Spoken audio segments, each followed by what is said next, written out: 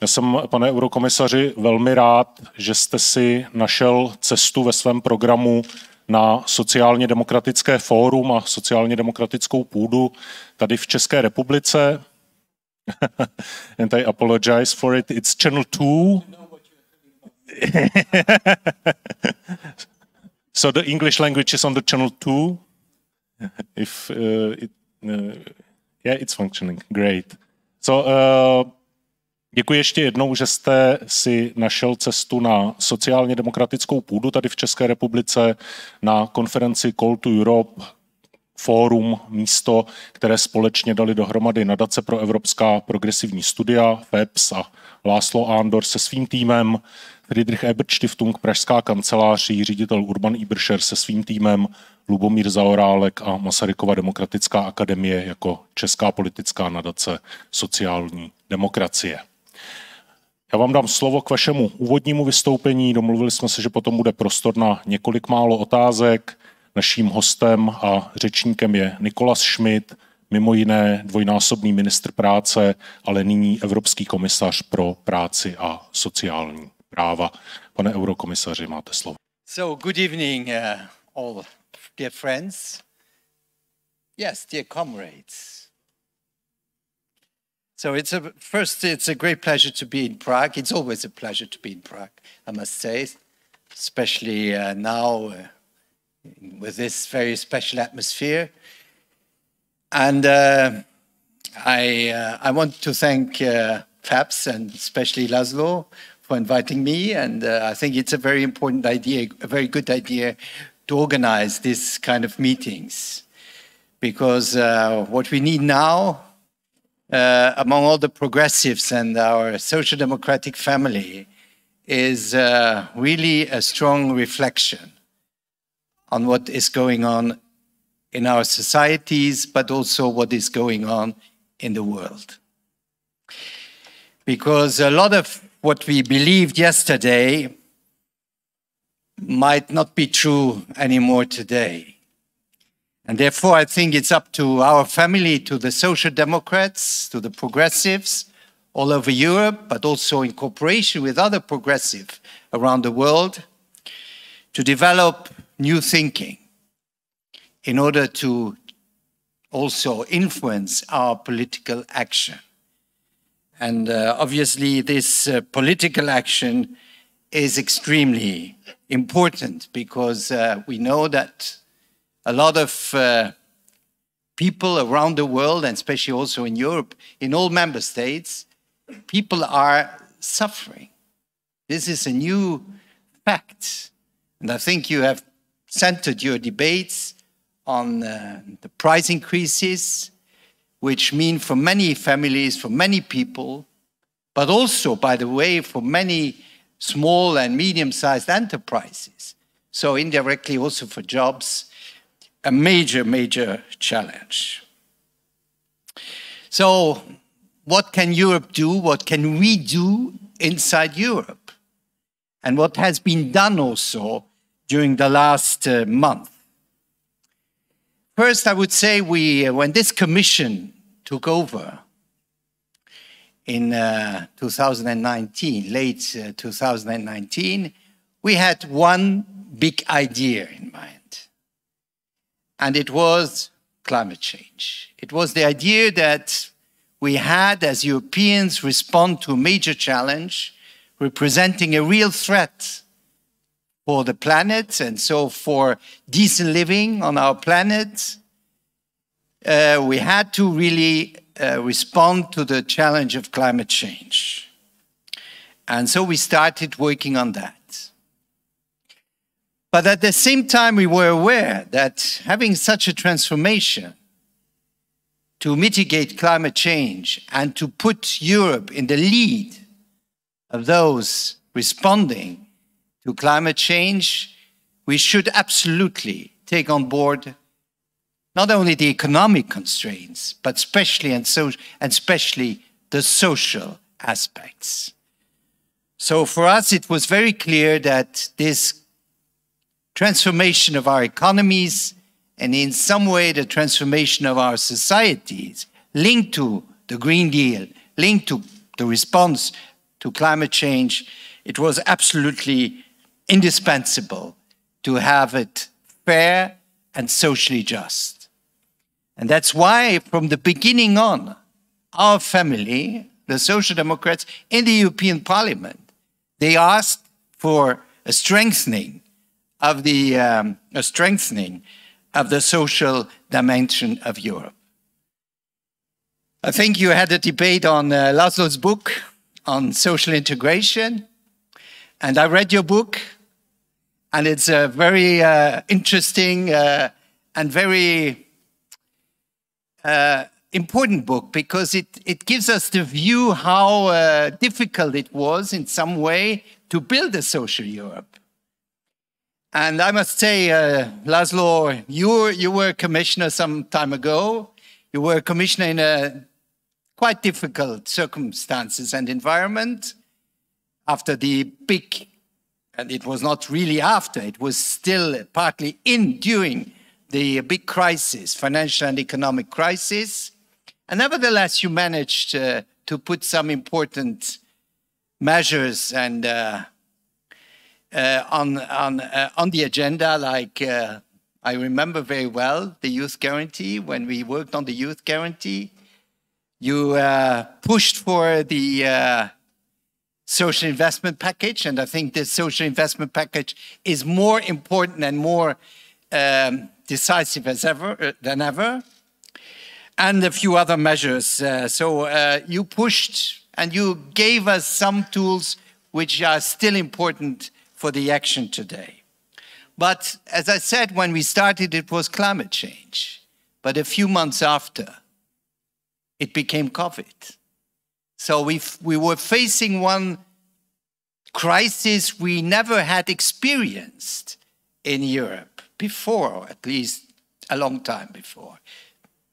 And COVID crisis was a real challenge for European, for not only for the Commission, it was a challenge for the European Union because we saw at one moment when a, a certain number of acquis, like free movement, were put into question very concretely when borders closed again. But not only that, when uh, also the solidarity between member states was put into uh, jeopardy.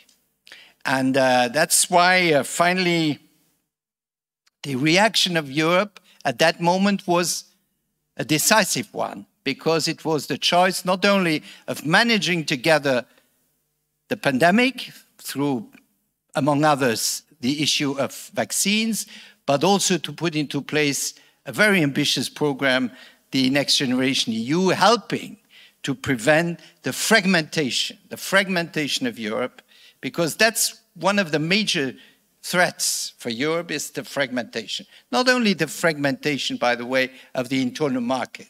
We always hear, it's a fragmentation of the internal market, but it's also the fragmentation of the social context, of the social environment, the social fragmentation, which represents also a real threat uh, for Europe. And when we thought that we had the COVID more or less behind, because COVID is not entirely over, well, then started this terrible war in Ukraine, this aggression of Russia against Ukraine, this criminal war, uh, which uh, finally broke with some ideas we had on international cooperation, on international values, on the respect of international uh, law. And this was uh, really and is still uh, also something which uh, has to be integrated absolutely in our new thinking. Uh, and I would say it's the three things, the three crises, climate change, a major challenge to change a lot of things in our societies. COVID showing that, uh, well, we have other threats like pandemics, and we need the right responses against these threats like for instance, investing a lot in social, investing a lot in health. And then uh, the breaking down of uh, an international order, the uh, questioning of international law, which brought together, and it had already started with uh, COVID not only the normal globalization, because we for long thought that globalization was definitely established and it was finally a win-win. Now uh, we know that globalization was never really a win-win. There were always losers in the globalization, always, and they have not been so much compensated.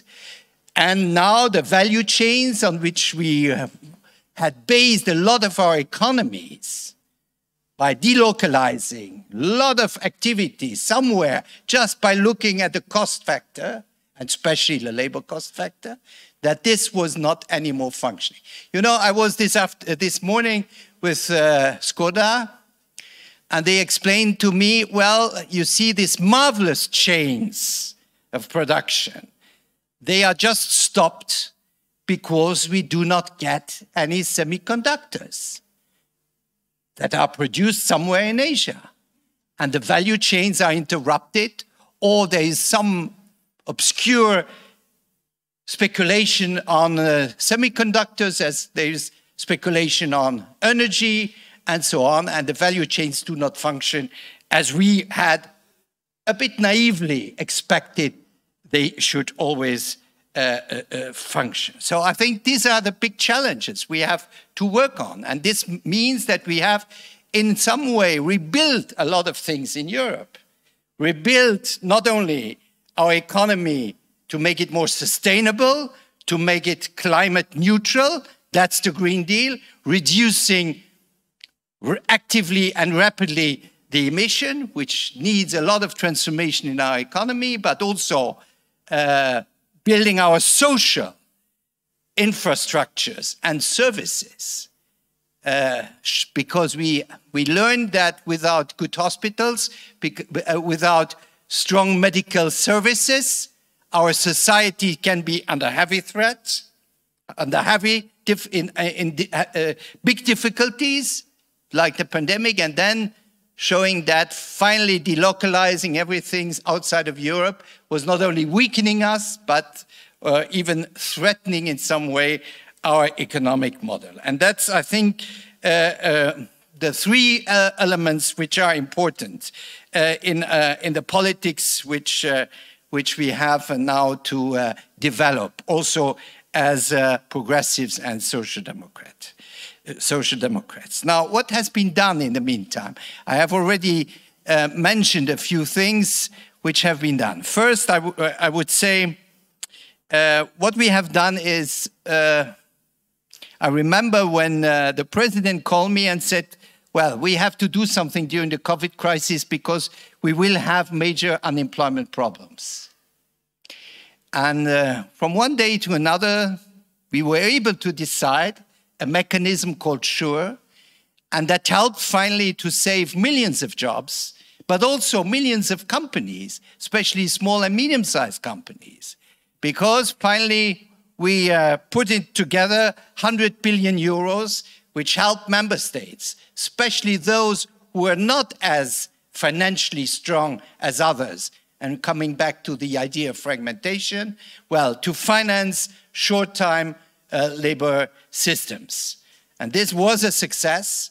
It was a success because we managed to react rapidly and uh, it helped us uh, to overcome major uh, questions of, uh, uh, of jobs. And it helped us, once the COVID crisis was more or less over, that the economy could restart. And we saw last year, especially, a very strong rebound of the European economy. And that is partially due also to the fact that we could keep people in their jobs, that we could maintain income more or less, and we could help companies just to restart because their stuff was at their disposal. So this is a very concrete measure, how Europe, in, by solidarity, by uh, finally putting at the disposal of member states 100 billion euros, could overcome uh, this uh, uh, this uh, major uh, crisis we, we, we went through during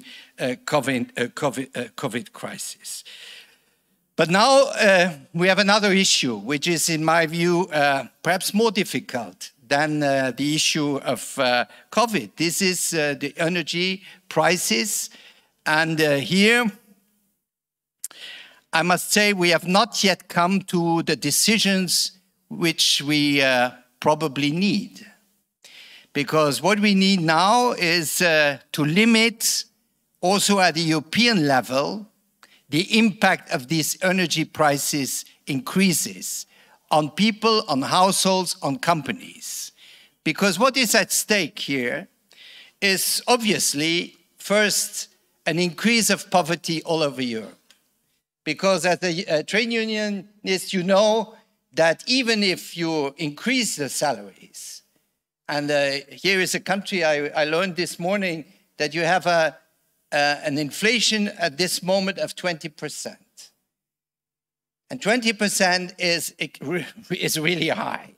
And it's not easy for trade unions to ask an, an increase in salaries by 20%. So this, this is a major issue, how we can come back first, combat inflation.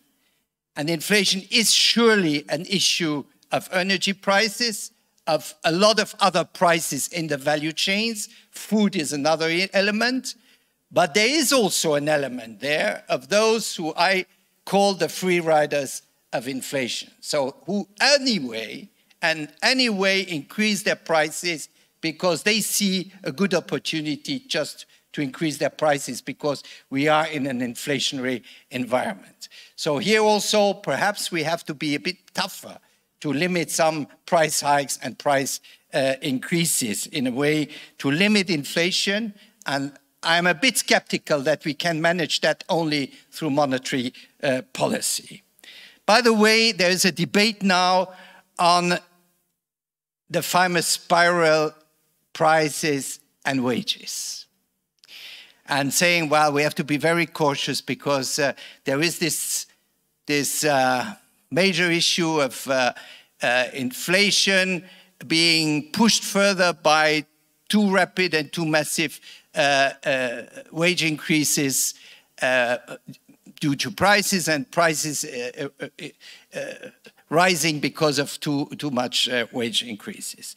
Well, here I would say that I would not say that this is impossible, but it is interesting to see that even the IMF, the IMF has now issued a very interesting study on that issue and saying, well, this is over, um, there, is, there is no signal now at this moment, especially in Europe, that we are in this kind of spiral.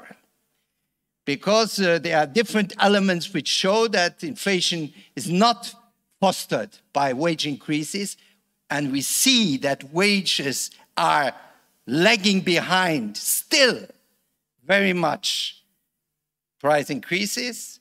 So there is not a, uh, there is not a situation of uh, this spiral, which uh, uh, some argue to uh, convince, well, unions not to be too, uh, too demanding. So I think this is important. We have to allow wages to not to be disconnected from prices, because if we are doing that, that means that we will have not only an increase in poverty, that's obvious, and more and more, especially low income wages uh, to drop into uh, poor uh, labor or poor uh, working poor, but also to have a major impact, a recessionist impact on our economy. So I think this is a, an issue. I, I think we have to work with trade unions on this. And therefore, bargaining, collective bargaining now, we have to support trade unions on this collective bargaining. And that, that brings me to a, a directive which this commission adopted and which finally was adopted by the Council and the Parliament, which is now definitely adopted. And that's the minimum wage, uh, minimum wage uh, directive. Uh, if somebody had told me, uh, and probably, I don't know, uh, Laszlo, what do you, what you think? Uh, can we do something on minimum wages? It was certainly circulating the idea, but can we do something very substantial, important on minimum wages, I would have been very skeptical. And finally, we managed. And we managed it um, because I think there is an awareness now that during the last 20 years, something has gone in our economies which is not, which is not fair. And uh, we have seen wages decreasing permanently. And I remember the unions, the last election, European election, uh, campaigned for it's time for pay rise. And there was, in, in some way, a, a, a, a gap, an increasing gap between uh, wages on one hand and other revenues, and especially cap capital revenues on the other. So this allowed us, and this gap, I think everybody understood that there was something going on in the economy which was not fair and which not right, and even economically not sound. And therefore, we managed to have this directive, which does not allow us to establish minimum wages, but at least to oblige member states to have a method to establish minimum wages uh, in conformity with a certain number of procedures and parameters. And I hope so that this is a good tool now. And I would even plead that this should be applied now. We should not wait until two years' time the directive is transposed. It should be applied now to look what are minimum wages doing in the context of, uh, of uh, this crisis and this inflationary uh, tensions. But this directive is more just than uh, proposing uh, a system to establish minimum wages.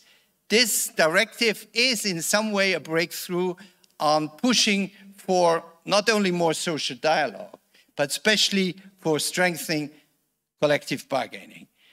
Now, collective bargaining, everybody would say, well, that's normal, that's part of our social market economy.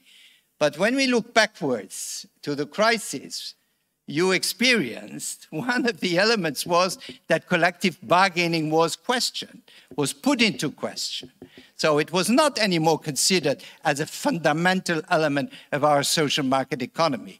It was in some way uh, uh, in Greece, but also in many other countries, in Spain, in Portugal, uh, considered well collective bargaining if then it has to be on the level of companies and not of uh, sectors. It has to be limited. Collective agreements were put into question, were uh, halted, and so on. So I think to say now in a directive, the elements, the fundamental ele elements of collective uh, bargaining, it seems to me a very important uh, part of our social policy, and therefore I think uh, we, uh, it's, it's absolutely important that we defend this, uh, uh, uh this uh, major social acquis and which is an essential part of, um, of um, our social, economic and social system. Without strong collective bargaining, there is no social market economy.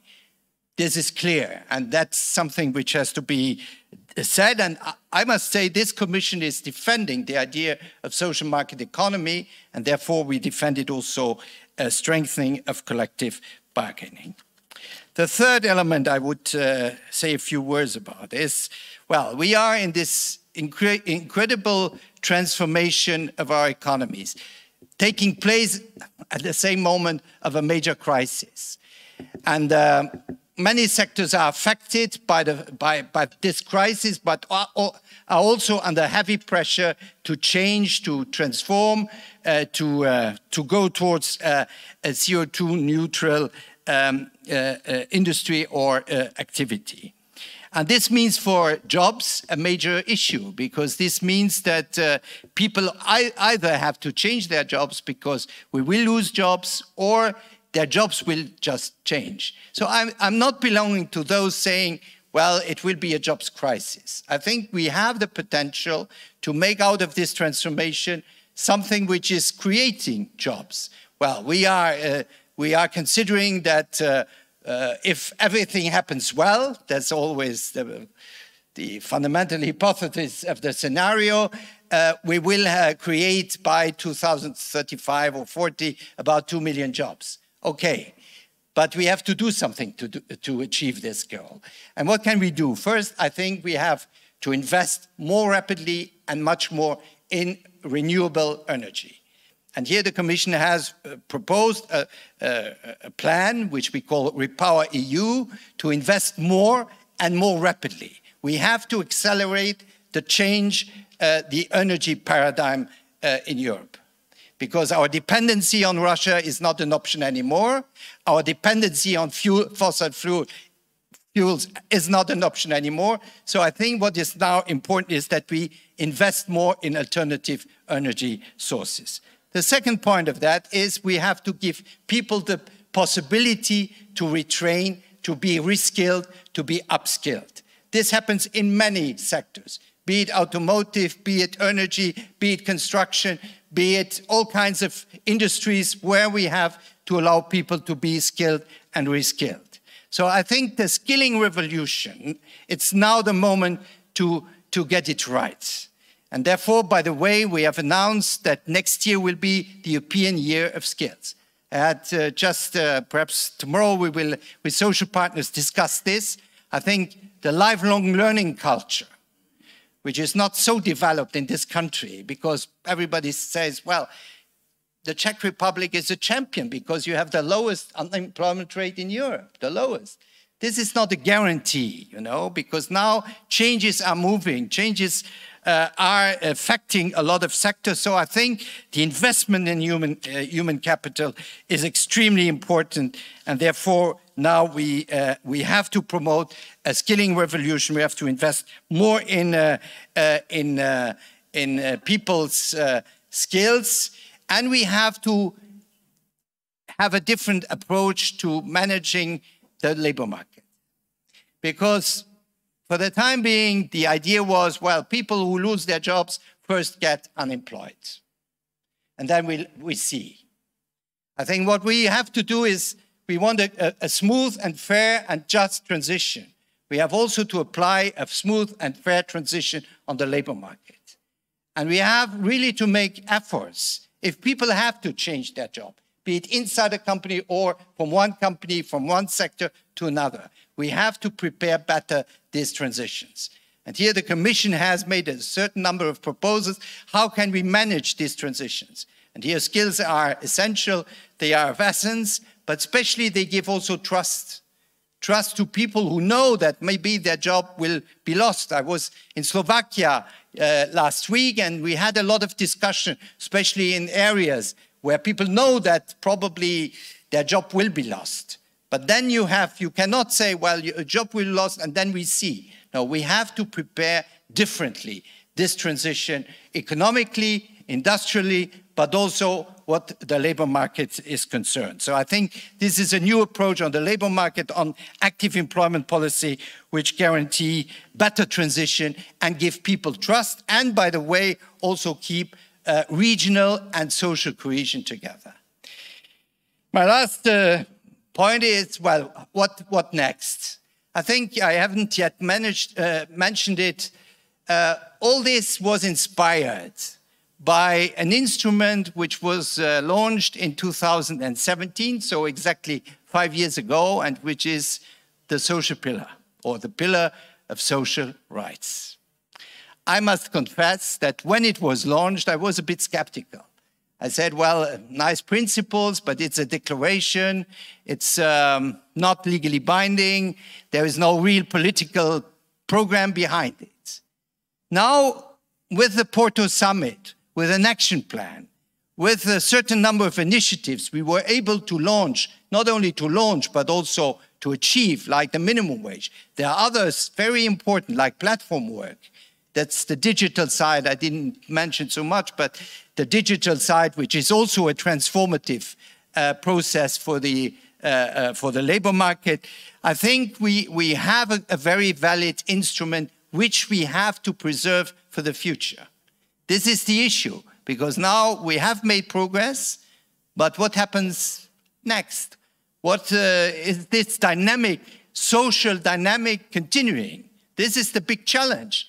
And that's why, as social democrats, we have to explain that we have now, in some way, put social Europe on track. And it would be a catastrophe, a catastrophe, especially after the next European elections, if suddenly this dynamic was interrupted, stopped, or just slowed down. So I think the uh, social pillar has become a real tool. It has become a tool not only to uh, achieve things like the minimum wage, like a directive on platform. And really, this will be, is a hard discussion with platform. And there you discover the interest and the lobbies behind the platforms, the Ubers and others who are exerting a real pressure to try to amend, to weaken down, to, watering the, to water, water down the directive the Commission has proposed. So in the Parliament and especially also in the, in the Council. And I think this is now the big choice people have to, to be aware of. Uh, that, well, this social dynamic which has uh, developed on the basis of uh, the uh, social pillar can be stopped can be even be reverted. And I think this is uh, uh, very important to, uh, uh to, to explain to, to our electorate, to our people uh, in, in, in, this, in this very special and context. And if the social pillar is so important, it's because it's not just social separate from all the rest. Social has to be part of the overall economic and financial and budgetary governance of the European Union. We do not want social to be just a corrective. We, are, we know perfectly well to have a strong, resilient economy, social has to be really part of that.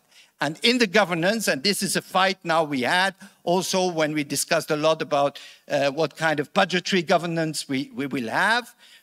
I'm not perfectly happy, but at least to know that the social criteria, the social scoreboard you, uh, László, launched which has been renewed, which has been reinforced, that this is part of the whole governance in Europe, the economic governance and social governance, that they, they, they are very much interrelated.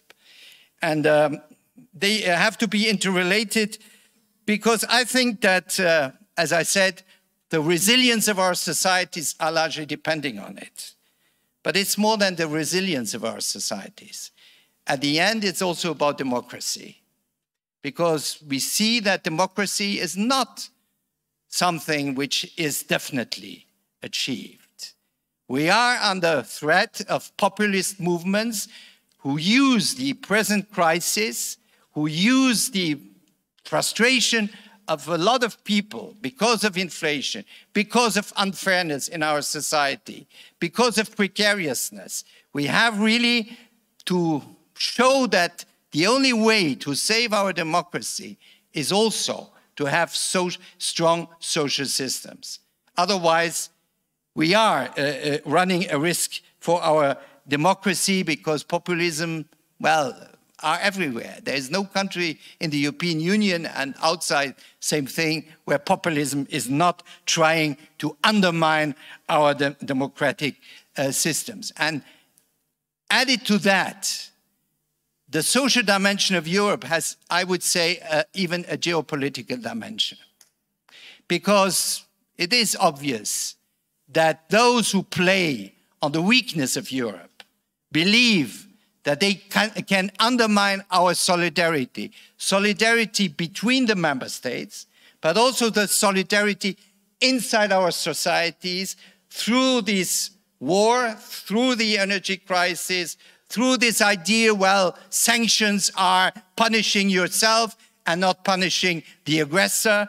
And therefore, we have to make sure that during this period, we have the right tools in place now.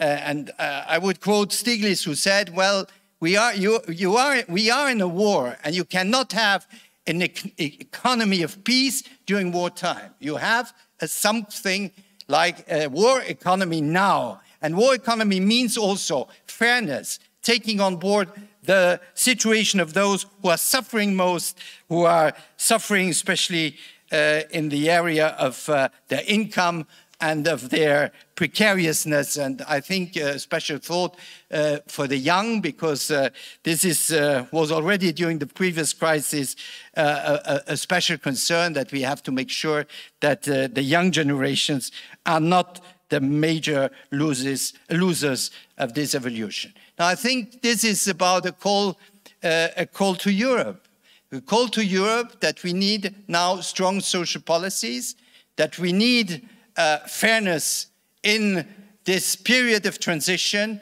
and in this period where we have to face a very exceptional and very unforeseen crisis, not only political, but also economic, and uh, in some uh, way also social. Thank you. Zeptám se, kdo má otázky. Uh, tak Lubomír Zaorálek, Rufus Koftun, Josef Středula.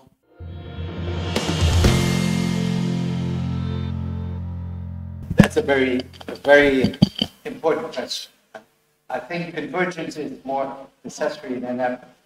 It's about economic convergence, which is going on quite well in some aspects, not everywhere in the same way. And you mentioned also regional convergence because we always generalize. We see only member states, but we also have to see regional convergence. I think this is a big issue about uh, uh, gaps. Uh, uh, oh, I,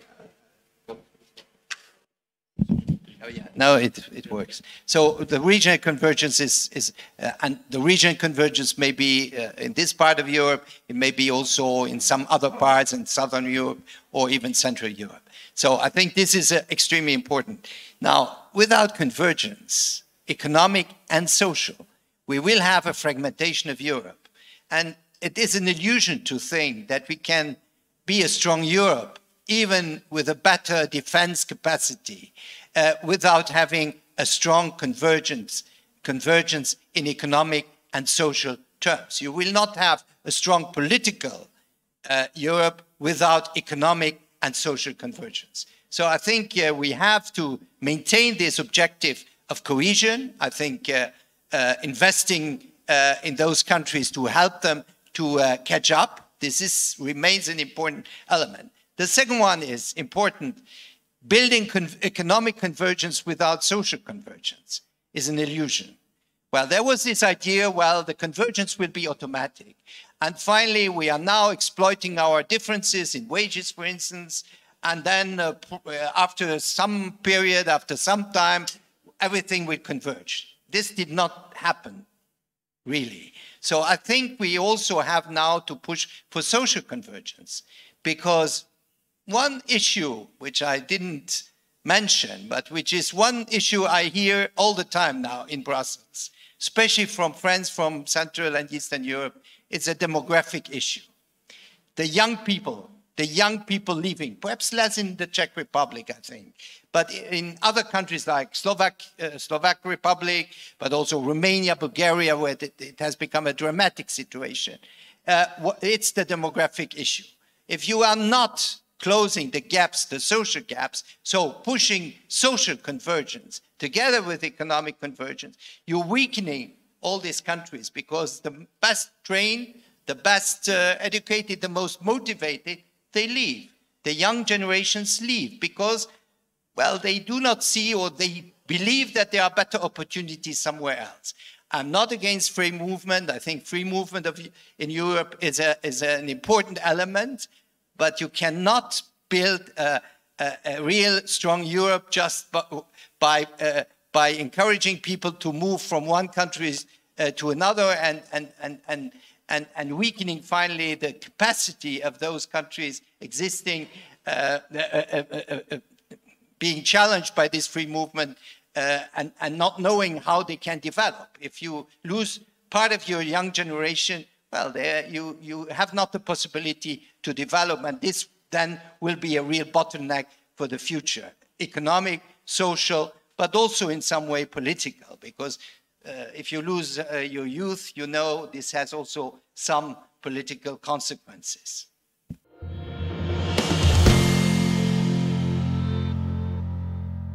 Well, first on, on, uh, on the different elements you mentioned, on a, a fiscal capacity I think uh, you cannot have a, a, stable monetary union without also a fiscal capacity.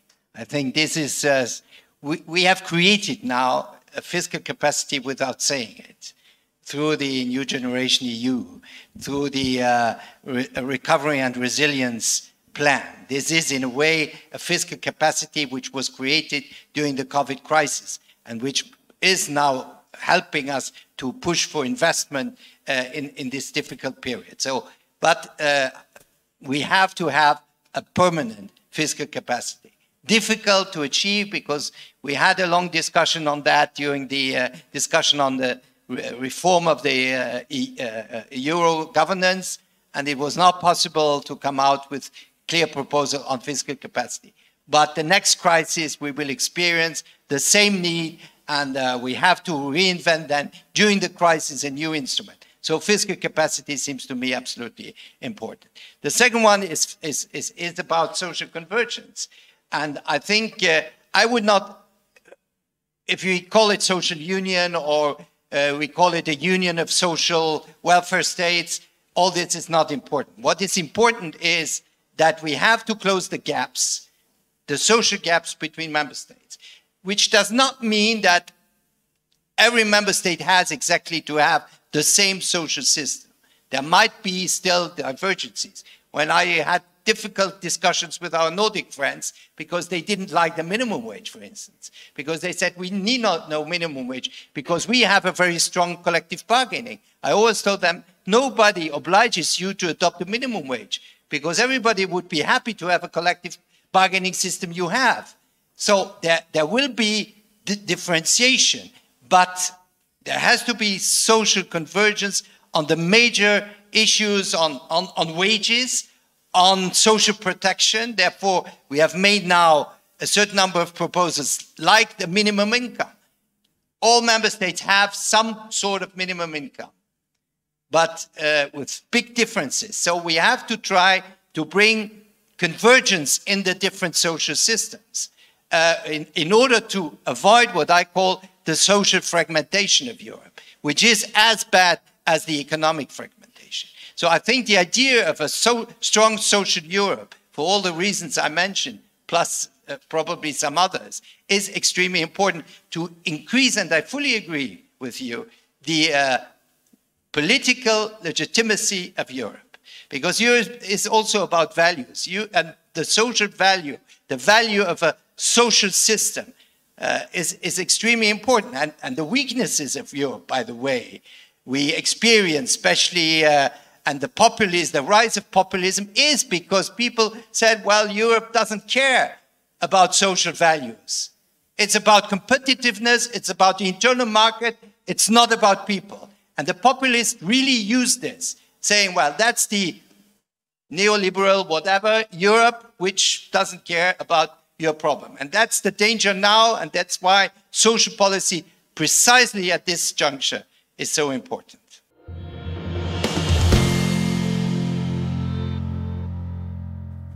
that's not populist, I think, not at all. I think this is our common aim because uh, I think at the end, uh, the European Union uh, is running big risks if uh, finally people have the, have the feeling, and not only the feeling, are facing a reality which shows that uh, uh, their personal situation is worsening.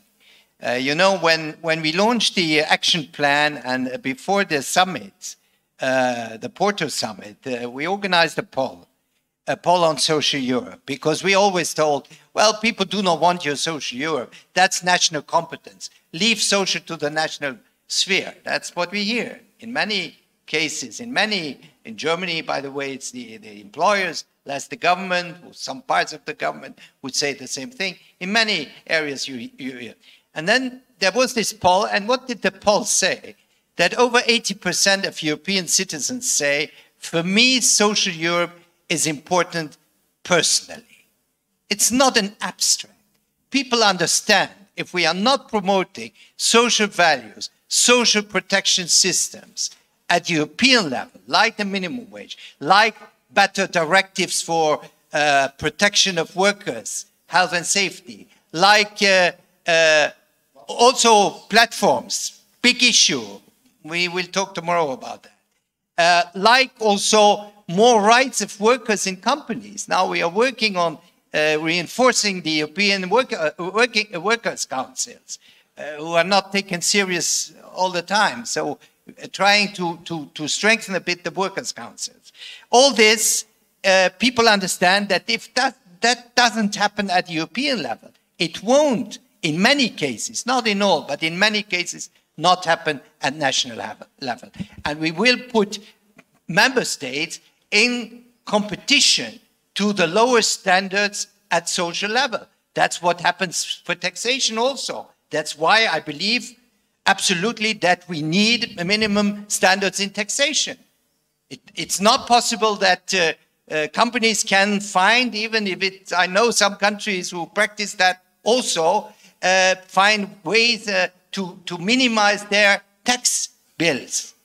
And therefore, we need these standards, and we need them also at the social level. But it is difficult because polit the political landscape is not always so easy. And I must say, I was astonished when we got this qualified majority for the for the for the minimum wage. Now we we have to get a, a, a good directive on platform. Uh, it's a fight. I can tell you, it's a fight uh, because member states know they they want to have this uh, um, approach, which uh, finally leaves uh, part of the new economy, the gig economy, outside the social framework, which is absolutely unacceptable. So I think we we have to fight together uh, politic, on the political level, together with the trade unions uh, and with those governments engaged in a more uh, positive uh, approach towards uh, social Europe, we have to fight together. And this is what I say. We have to make sure that after the next European election, we will not stop the dynamic which more or less has started now and in difficult circumstances.